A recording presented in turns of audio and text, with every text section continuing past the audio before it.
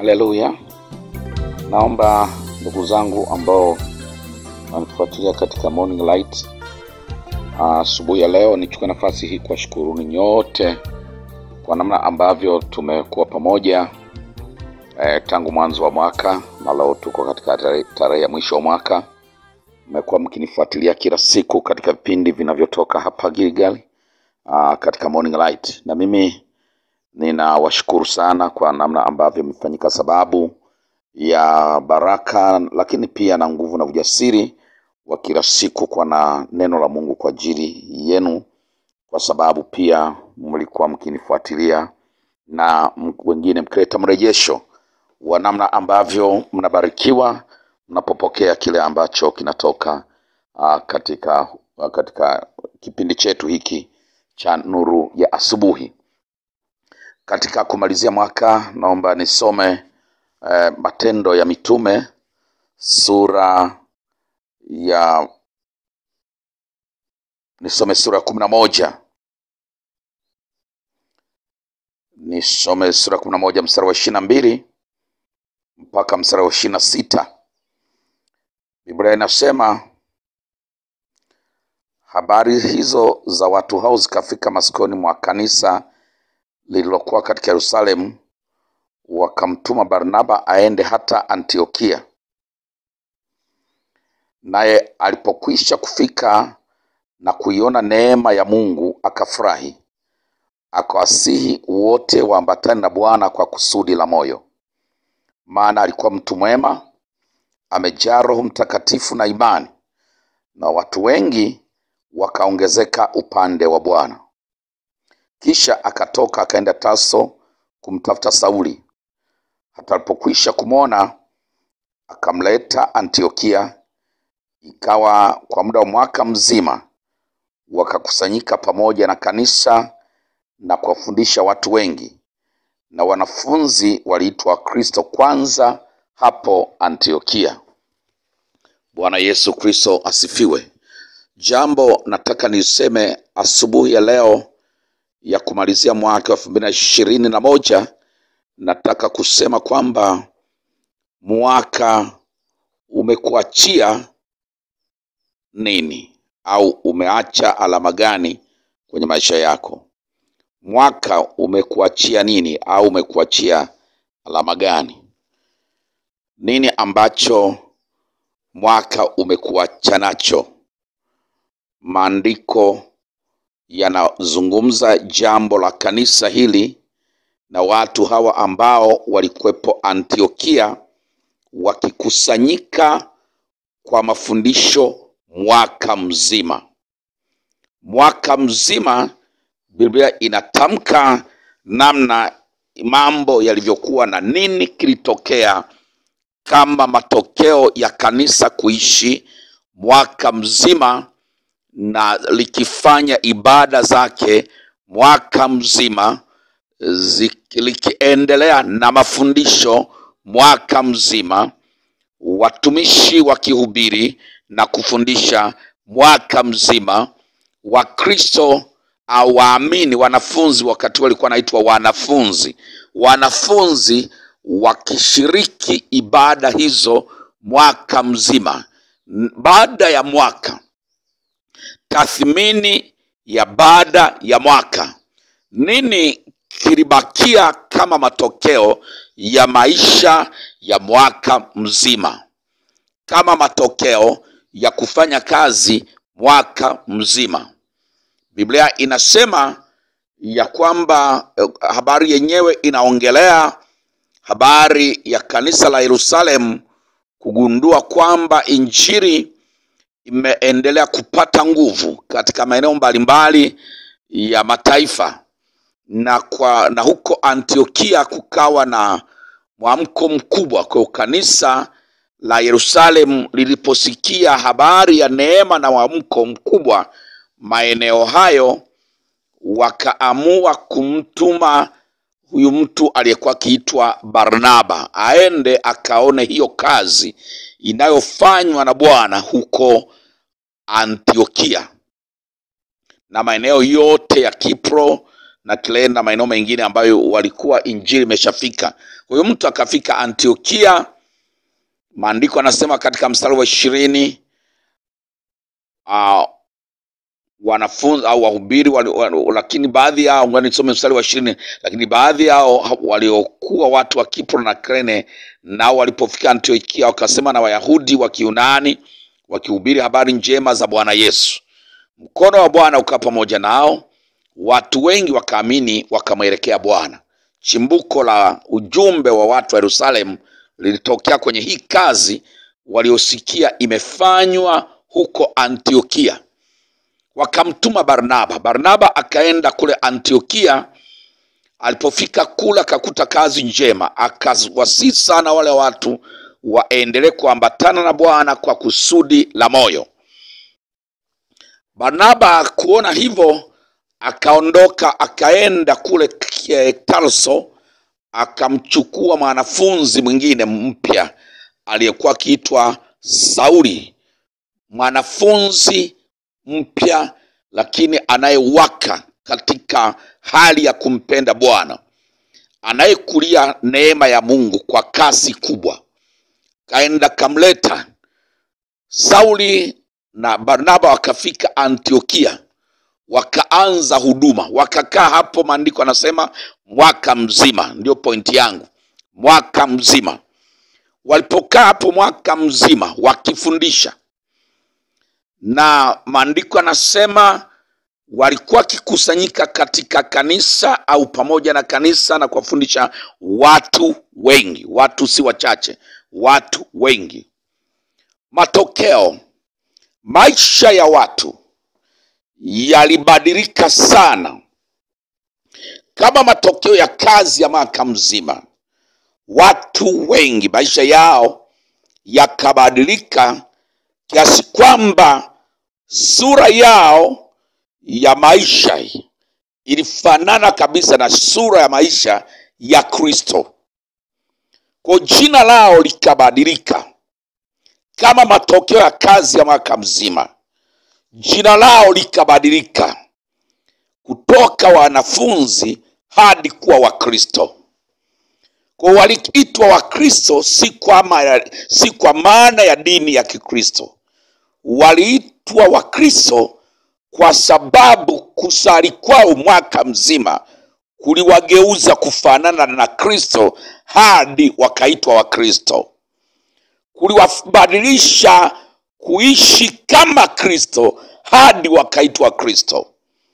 Kuliwabadilisha hata zungumza yao ni kama kristo hata wakaitwa wakristo kuliwabadilisha hata matendo yao yakawa kama ya kristo hadi wakaitwa wakristo.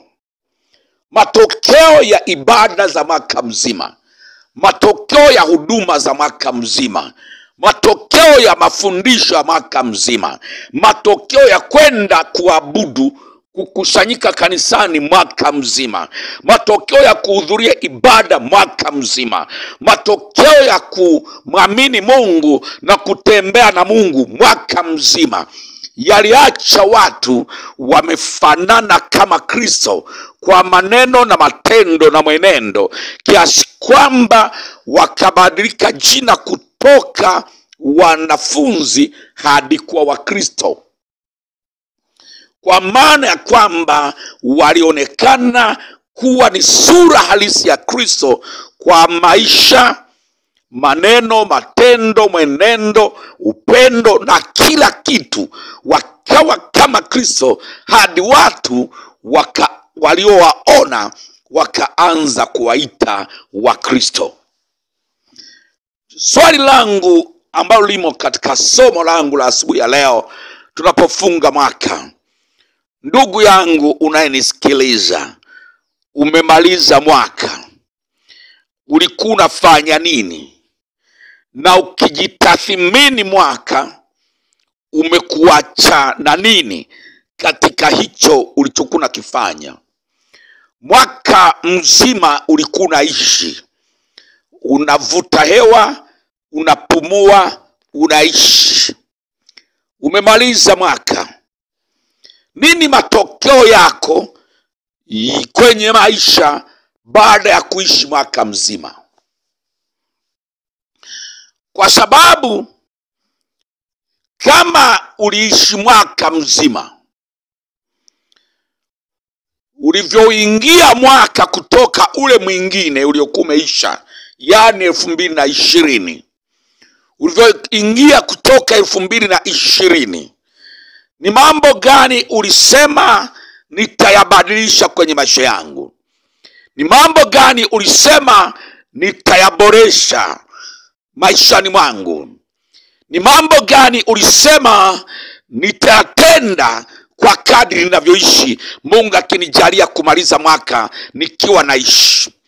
Iwe kwenye masomo yako iwe kwenye biashara iwe kwenye mahusiano ndani ya familia yako iwe kwenye huduma iwe kwenye ukristo wako maisha yako ya kiroho na kadhalika. Nini ambacho ukijipima sasa mwaka umeisha tena? Ulikuwa umedhamiria kwamba kingetokea. Nini umeachwaje katika hilo ni matunda gani unaweza kusema kuishi kwangu mwaka mzima kumeniacha na hivi? Kutembea kwangu ndani ya mwaka mzima kumeniachaje kwenye mwenendo kwenye tabia kwenye ukristo kwenye huduma yangu kwenye utendaji wangu kwenye mahusiano yangu na mambo mengi mbalimbali kumekuachaje? Kwa sababu ukiweza kuishi mwaka mzima kwa mambo yale yale huwezi kutarajia matokeo tofauti. Kama mambo yale yale uliovuka nayo elfu mbili na ishirini ukaingia nayo elfu mbili ishirini na moja huwezi kumaliza elfu mbili na ishirini na moja kwa matokeo tofauti ukiwa umetenda mambo yale yale huwezi kuishi kutoka na matokeo tofauti ikiwa ulikuwa una mawazo yale yale. Huwezi kuitoka na matokeo tofauti ukiwa uliishi kwa mtindo ule ule wa maisha. Huwezi kuwa na matokeo tofauti kama lugha za maneno yako zilikuwa zile zile na fikra za moyo wako zilikuwa zile zile huwezi kuishi maisha yale yale halafu ukatoka na matokeo tofauti. Kwa vyote vile utatoka na matokeo yale yale. Ukiishi maisha yale yale utatoka na matokeo yale yale. Ukisema maneno yale yale utatoka na matokeo yale yale. Ukiwa na mtazamo ule ule utatoka na, mato, na, na matokeo yale yale ukiwa na fikra zile zile utatoka na matokeo yale yale. Ukitenda mambo yale yale kwa namna ile ile utatoka na matokeo yale yale. Ili useme mwaka umeniacha na kitu maana yake kuna kitu pia na wewe ulikibadilisha mwaka ulipokuwa unaendelea. Kuna kitu ulibadilisha na hii kupe changamoto asubuhi ya leo napoongea na wewe ndugu unayenifuatia katika morning light kwamba dhamilia sasa unapoingia mwaka mwingine ambao tunautarajia masaa kadhaa yajayo dhamiria kwamba usiingie mwaka mwingine na maisha yale yale mambo yale yale fikira zile zile kuabudu kule kule maombi yale yale utumishi ule ule utoaji ule ule huduma ya kiwango kile kile maisha ya vile vile mawazo yale yale maneno yale yale saa ingine hata mazingira na marafiki wale wale. Unaweza ukamaliza mwaka maisha yako yamekuwa ni kama muda uliopotea ni kama miaka imepotea. Biblia ina lugha inaita miaka kupotea au miaka kuliwa mungu anasema katika yoeli kwamba kuna miaka inaliwa na madumadu miaka inaliwa na nzige miaka inaliwa na na parare miaka inaliwa. Miaka ikiliwa inaliwa kwa sababu ya watu kubaki na mambo yale yale. Kwa hiyo miaka inapita kama haikuwahi kuwepo. Kwa sababu haimwachi mtu na chochote.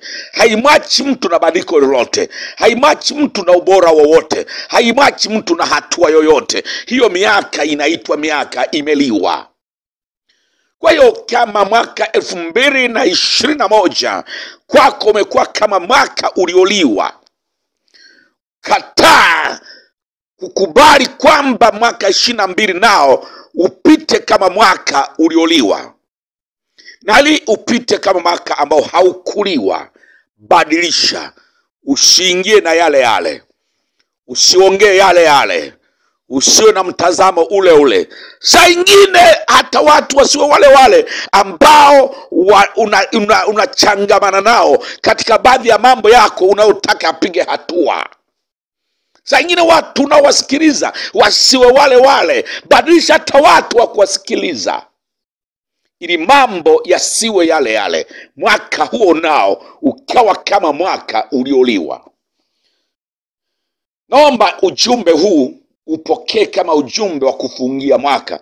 Baada ya mengi ambayo nimesema na wewe katika morning light mwaka mzima hebu chukua changamoto ya ujumbe huu ukufikirishe halafu ukupe namna nyingine ya kuingia katika mwaka unaofuata. Mungu akubariki.